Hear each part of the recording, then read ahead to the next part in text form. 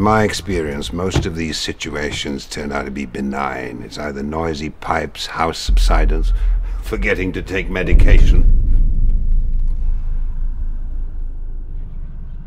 I would love to capture something conclusive to prove the existence of the paranormal.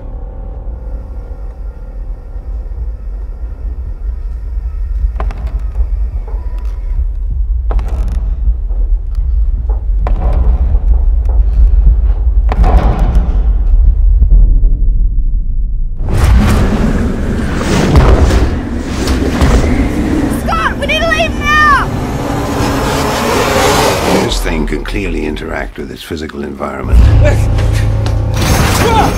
Let's see if we can get a visual of it.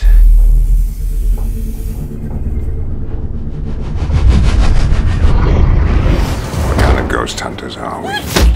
We run the minute we find our first ghost. This is exactly what we want.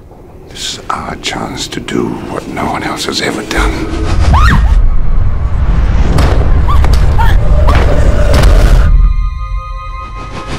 Bye.